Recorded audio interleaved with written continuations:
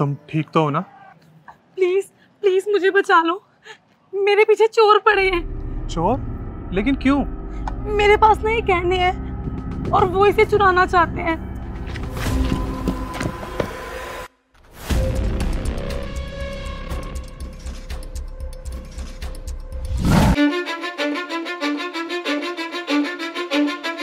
Cause I don't give a fuck what you say.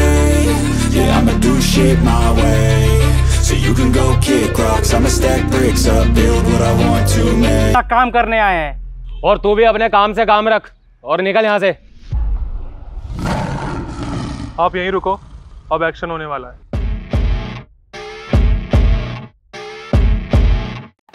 हाँ तो भाई लोगों आज मेरा काम पे जाने का बिल्कुल मन नहीं है।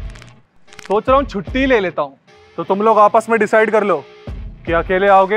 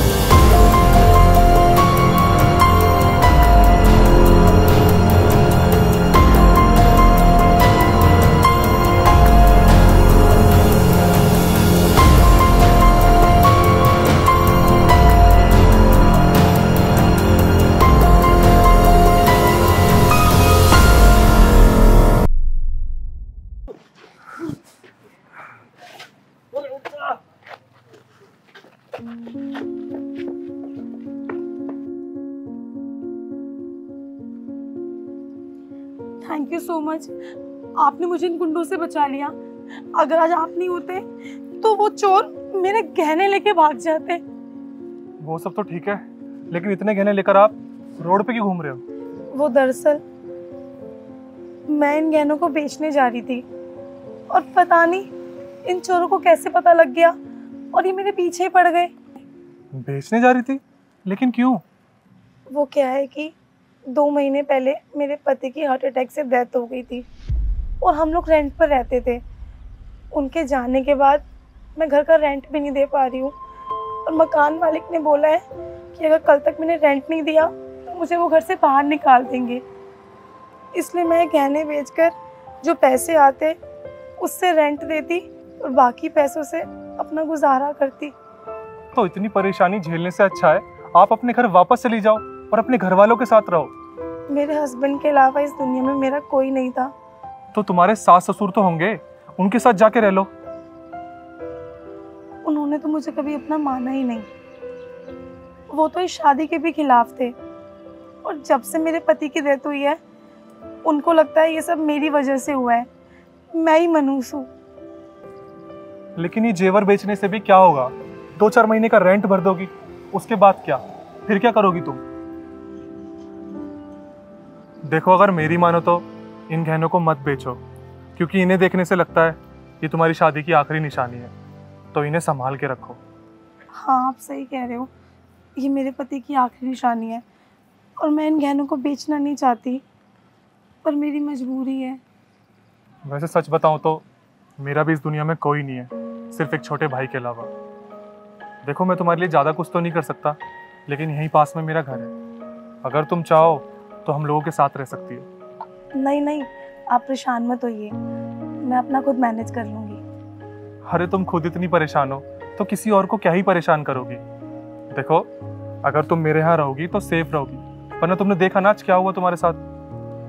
नहीं नहीं मैं आपके घर नहीं जा सकती। मैं नहीं चाहती कि मैं आप पे बोझ बनूं। और मैं अपना देख लूँगी। थैंक यू जो भी आपने आज मेरे लिए किया।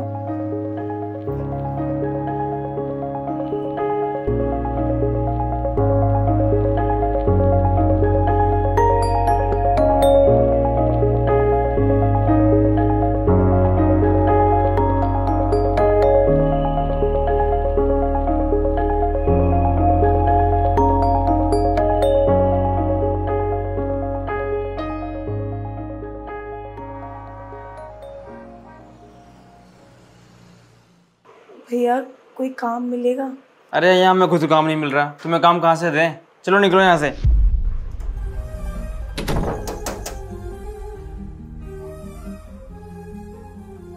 हाँ दीदी मुझे कोई काम मिल जाएगा?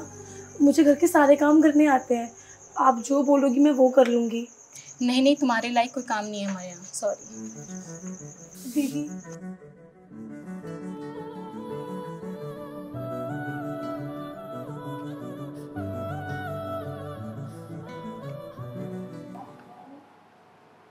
हाँ जी आप कौन? भैया मुझे कुछ काम मिलेगा। मुझे घर के सारे काम आते हैं। काम? कैसा काम? भैया आप जो काम बोलोगे झाड़ू पोछा बर्तन मैं सब कुछ करने को तैयार हूँ। बस मुझे आप काम दे दो प्लीज़ नहीं नहीं हमें ज़रूरत नहीं है। भैया प्लीज़ आप मना मत करो। मुझे काम की बहुत ज़्यादा ज़रूरत है। मुझे कहीं पर भी काम नहीं मिल रहा है। अच्छा ठीक है। आप यहीं पर रुको। मैं अपने भैया को बुला कर लेके आता हूँ। अरे आप? और यहाँ पर? ये आपका घर है। हाँ ये मेरा ही घर है। और आप बाहर क्यों खड़े हो? अंदर आओ ना। आ जाओ आ जाओ।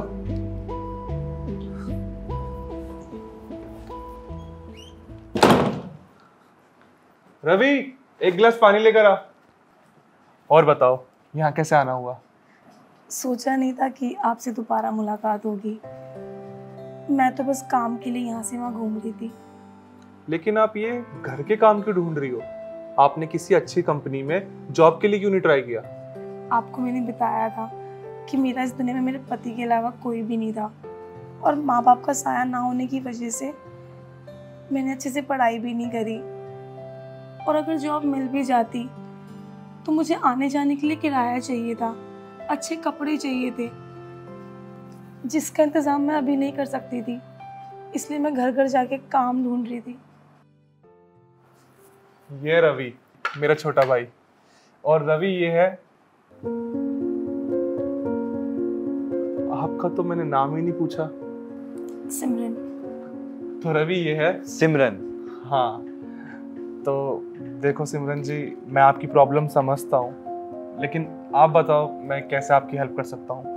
अगर मुझे कोई काम मिल जाता तो बहुत अच्छा हो जाता। भैया क्या आप पहले से जानते हो इन्हें? हाँ मैं सिमरन को पहले से जानता हूँ। और सिमरन आपको इस घर में रहकर जो काम करना है आप कर सकते हो। लेकिन मेरी एक शर्त है। शर्त? क्या शर्त? शर्त यह है कि आपको हमारे साथ रहना पड़ेगा। क्योंकि हम दोनों भाइयों को अभी इस दुनिया में कोई भी नहीं है। और एक दूसरे की शक्ल देख देख के ना हम भी बोर हो चुके हैं। अगर घर के अंदर एक नया सदस्य आएगा तो हमें भी अच्छा लगेगा। और शायद ऊपर वाले की भी यही मर्ज़ी है। तभी तो हमारी दोबारा मुलाकात हुई। अच्छा ठीक है। लेकिन मेरे यहाँ रहने से आप दोनों को कोई प्रॉब्लम तो नहीं है? नहीं आपके रहने से हमें क्यों प्रॉब्लम होगी? अरे जब भैया कोई कोई दिक्कत नहीं है तो मुझे क्या दिक्कत होगी? आप यहाँ रह सकते हो। और जिस तरीके से आपको काम करना है कर सकते हो हमें कोई प्रॉब्लम नहीं है thank you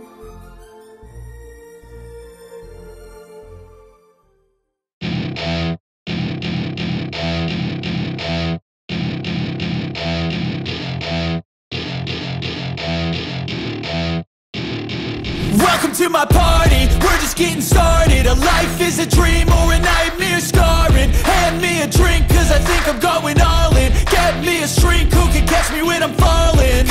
my scars, flip the handlebars Crashing in my car क्या हुआ क्यों बुलाया मुझे यहाँ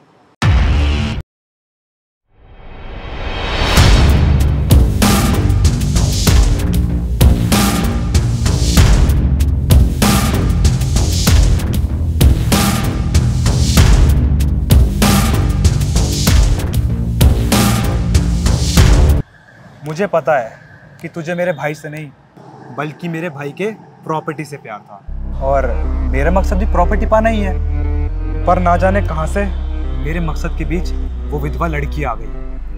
विधवा? कौन? मुझे भी नहीं पता वो कौन है और कहाँ से आई है। तो तू मुझसे क्या चाहता है? मैं चाहता हूँ कि तू मेरे भाई से पैचअप करे और उस विधवा लड़की को घर से बाहर निकालने में मेरी मदद करे। अच्छा लेकिन इन सब में मेरा क्या फ़ायदा? मैं तुझे इस काम के पूरे दस लाख रुपए दूँगा। दस लाख। दस लाख नहीं प्रॉपर्टी में हिस्सा चाहिए मुझे। वो भी पूरा आधा। अगर मुझे आधा हिस्सा ही चाहिए होता तो मैं अपने भाई को रास्ते से हटाता ही क्यों? क्योंकि प्रॉपर्टी का आधा हिस्सा तो वैसे भी मेरा ही है पर मुझे पूरा हिस्सा चाहिए। और अगर ये बात मैं तेरे भाई को जाके बता दूँ तो तो तुझे वैसे भी कुछ नहीं मिलेगा। तुझे लगता है मेरा भाई तुझ पर यकीन करेगा, कभी नहीं। दस लाख रुपए चाहिए तो बोल। दो लाख मैं एडवांस लेकर आया हूँ। सोच ले, इतना पैसा कमाने का मौका फिर नहीं मिलेगा तुझे।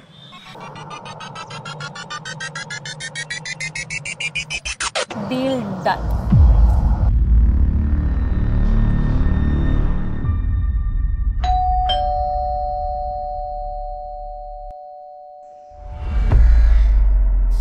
अरे मानसी भाभी हाँ और यहाँ पर क्यों खड़ी हो, अंदर आओ ना। मानसी? यहाँ पर?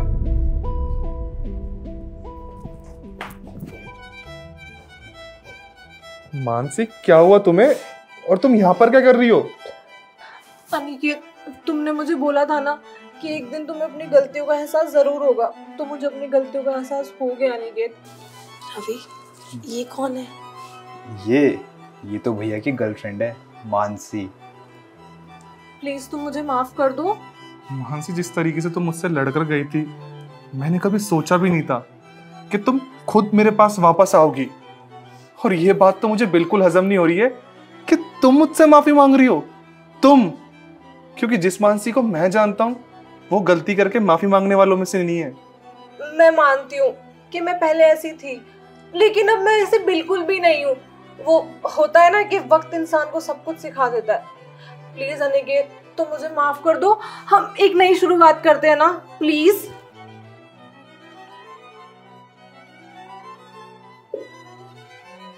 अरे वाह अनिकेत तुमने काम वाली रख ली? नहीं वो काम वाली नहीं सिमरन है। अच्छा। हाँ जी भाभी आपको तो पता ही है भैया का दिल कितना बड़ा है। किसी को परेशानी में देख ही नहीं सकते। और वैसे सिमरन दीदी भी परेशानी में थी तो भैया ने उनकी हेल्प कर दी। और तब से ये यहीं हमारे साथ रहती हैं। मैं तो जानती हूँ कि अनिकेत का दिल कितना बड़ा है। तभी तो मैं लौट कर वापस आई हूँ। एंड अब ना हम सब मिलकर साथ में रहेंगे।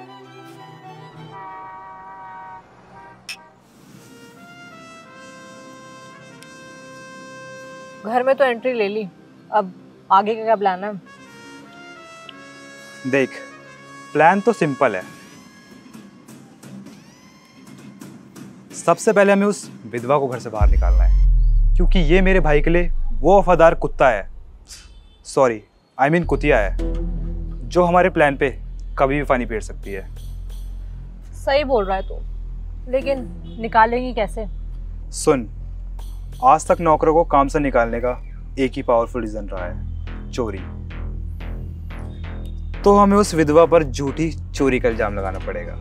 हाँ हमें उसे तेरे भाई के सामने चोर साबित करना पड़ेगा और उसके बाद तेरा भाई उसे खुद ही धक्के मार के घर से बाहर निकाल दे और हमारा रास्ता साफ़ हो जाएगा। देख एक बार वो विधवा घर से बाहर निकल जाए फिर तुझे मेरे भाई के साथ बाहर घूमने का प्लान बनाना है। दिल्ली से कहीं बाहर पहाड़ों की तरफ़।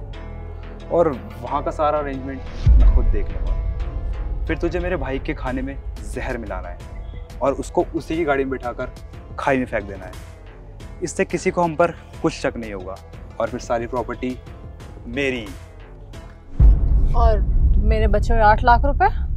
अरे तू पैसे की टेंशन मत ले। जब तू काम खत्म करके वापस आएगी तो तेरे सारे पैसे तुझे मिल जाएँगे।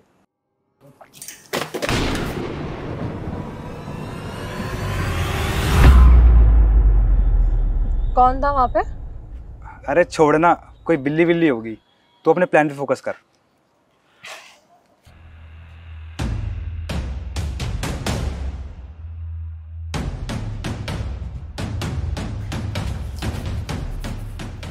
अनिकेत। अरे क्या हो तुम्हें? तुम इतना हाफ़ क्यों रही हो? मुझे तुमसे कुछ इंपॉर्टेंट बात करनी है। वो सब तो ठीक है लेकिन तुम इतना परेशान क्यों लग रही हो? सब ठीक तो है ना? अनिकेत सब ठीक है। मुझे कुछ बात करनी है तुमसे। हाँ तो बताओ क्या हुआ? यहाँ नहीं कहीं बाहर चलते हैं। क्या? मानसी और रवि दोनों मिलकर मुझे मारना चाहते हैं? हाँ अनिकेत वो दोनों तुम्हें मारना चाहते हैं। देखो सिमरन आई थिंक तुम्हें ना कुछ गलत फहमी हुई है। हाँ मैं मानता हूँ मानसी जब से वापस आई है वो तो मुझे भी खल रहा है। लेकिन रवि वो तो मेरा छोटा भाई है। और वो मुझे अपनी जान से भी ज़्यादा प्यार करता है। वो ऐसा नहीं कर सकता। वो तुमसे नहीं तुम्हारी प्रॉपर्टी से प्यार करता है। अनिकेत समझो इस बात को। लेकिन रवि ऐसा कर सकता है? मुझे बिल्कुल भी भरोसा नहीं हो रहा सिमरन। तुम्हें मेरी बात पर यकीन नहीं हो रहा? नहीं।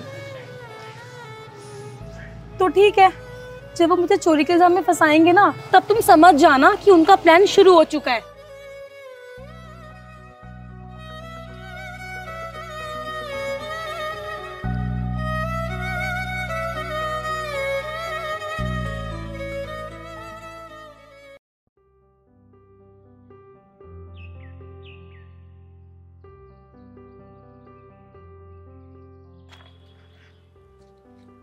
भैया? हाँ।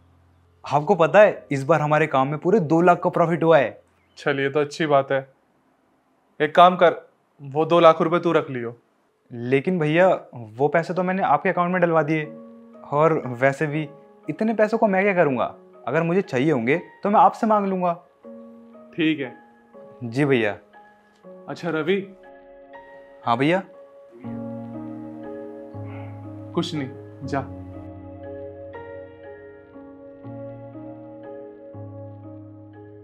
सिमरन को शायद कोई गलत फहमी हुई होगी। रवि ऐसा नहीं कर सकता। और अगर अब इससे पूछूँगा तो उसको बुरा लगेगा।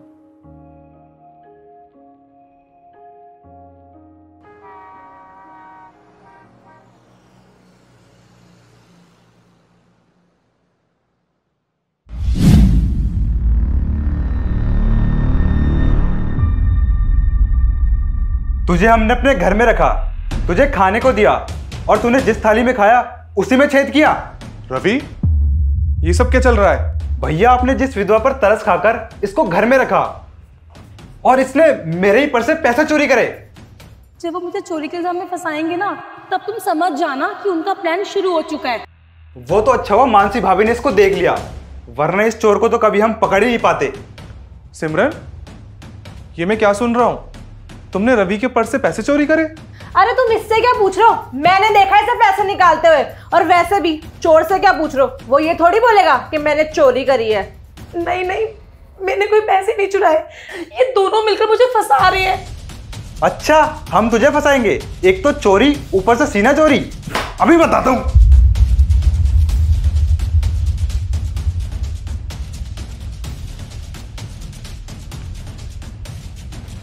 झूठ ये नहीं।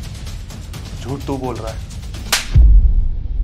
अनिकेत तुम पागल हो गए हो क्या? इस विधवा के लिए जो एक नंबर की चोर है उसके लिए अपने भाई पर हाथ उठा रहे हो। अपनी बकवास बंद कर। तू इस हद तक गिर सकती है ये बात मैं तब से जानता हूँ जब से तू लौट कर वापस आई है। और तू? तू इसके साथ मिलकर इस हद तक गिर जाएगा मैंने कभी सपने में भी नहीं सोचा था। अरे भैया मेरी बात तो सुनो। क्या बात सुनू तेरी? और अब सुनने को रह ही क्या गया है? तेरे सारे प्लान जानता हूँ मैं, कि इसे चोरी के इल्ज़ाम में फंसा के घर से बाहर भगाना। और दूसरा, इसके साथ मुझे घूमने बाहर भेजना, मेरे खाने में जहर मिलाना, मुझे मेरी गाड़ी में बिठाना और खाई में फेंकना। अबे सब पता है मुझे। और इतना ड्रामा क्यों? किसके लिए? सिर्फ़ प्रॉपर्टी के लिए? अबे तुझे प्रॉपर्टी चाहिए थी तो मुझसे मांग लेता। तुझसे बढ़कर थोड़ी ना मेरे लिए। और तुझे प्रॉपर्टी चाहिए ना? रुक।